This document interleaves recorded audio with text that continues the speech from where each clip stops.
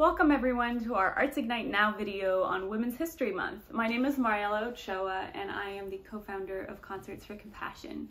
Today we're going to start with a brief meditation and breathing exercise. We're going to breathe in for the count of five and breathe out for a count of 10. And feel free if you want, if you want to raise your arms up while you do it to make the exhale even stronger, feel free.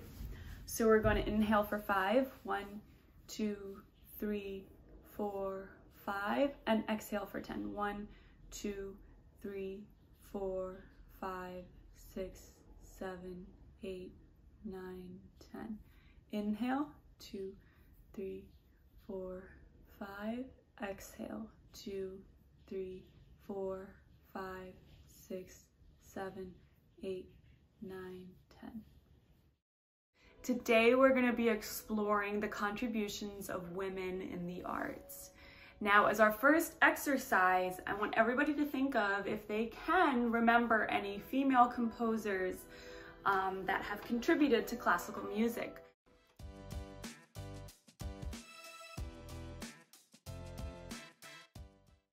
The first one that you may have heard of is Maria Anna Mozart, which the name sounds familiar. She was Mozart's older sister. They performed a lot together as children, but when she reached the marriageable age at the time, she was no longer encouraged to work as a musician because she was expected to have a family. Now we do believe that she also composed a little bit and she was a fantastic pianist and equally as talented, many say, as the very famous Wolfgang Amadeus Mozart.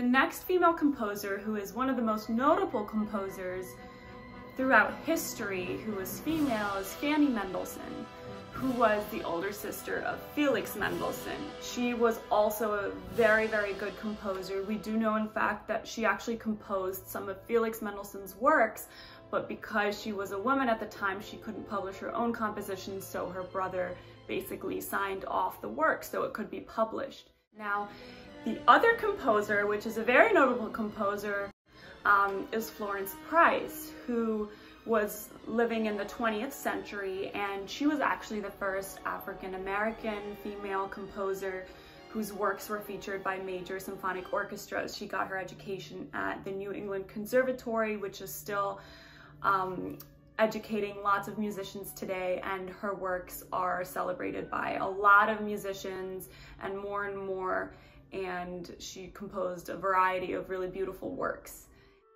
So the final composer that we're going to explore today, her name is Francisca Gonzaga, and she was a Brazilian composer who lived in the 1800s and the 1900s, and she was actually the first female conductor in Brazil.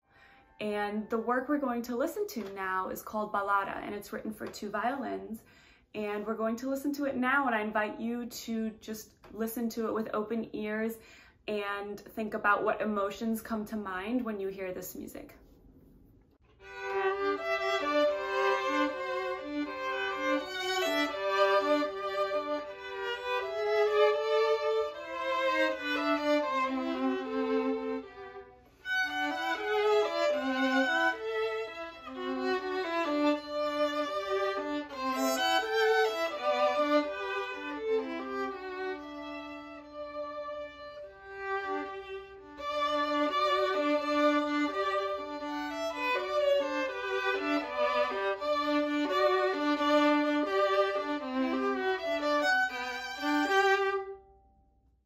So next we're going to ask a very important question, which is why do we play music? Now, people have many different opinions about this, but my opinion is that music helps the audience and the performer feel and express and process emotions and therefore connect to themselves and to the world around them. Today, as our next exercise, we're going to experiment with all the different emotions that we can express when we play music. So what we're going to do now is we're going to listen to this opening phrase of the ballada and I invite you to sing along with the phrase. Each time we're gonna pick a different character. So the first time we're going to sing and play this phrase in a happy way. So I invite you to sing along in the happiest way that you can possibly sing.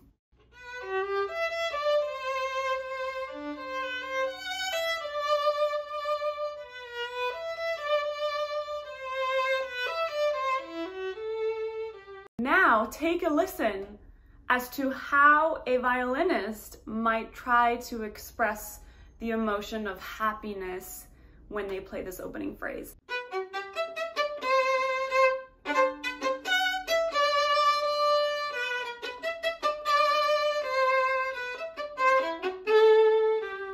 As our next emotion, let's try to sing the opening phrase angry right? So I invite you to sing along and try to make it sound as angry as you possibly can.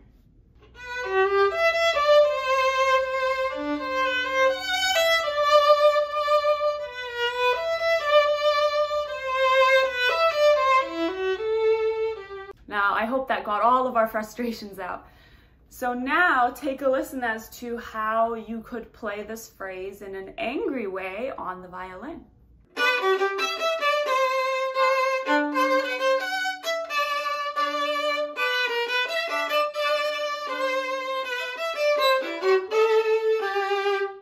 Now, as our final emotion, let's try to sing this phrase in a tired way, right? So sing along with the opening melody and try to make your voice sound tired. Maybe you can even show it with your body language.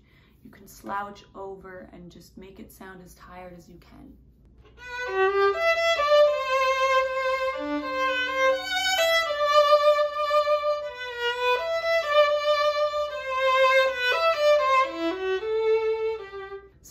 Take a listen as to how you could make this sound tired on the violin.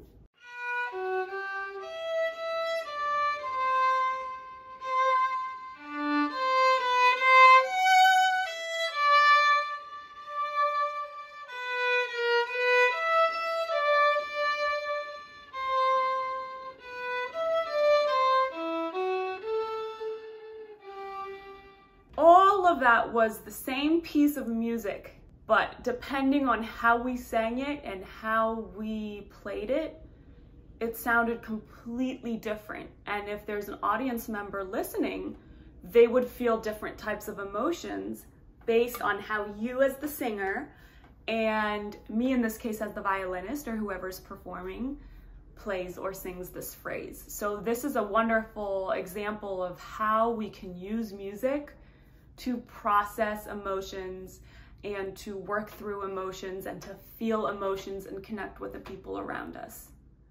As our final exercise for today, I want everyone to close their eyes and just become still for a second and think about what emotion you're feeling at this very moment.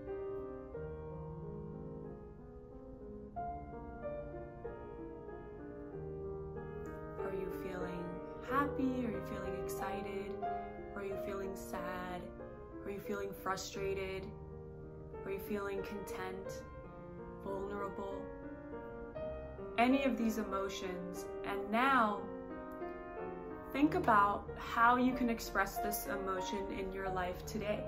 How can we, each one of us, with our emotion of today, express this to the people around us, either through music, through art, or through our words in communication with the people around us. We hope you enjoyed our video today. Um, feel free to comment on the video if you have any thoughts and also please tag us on social media at artsignite.org. Thank you for joining us today and see you next time.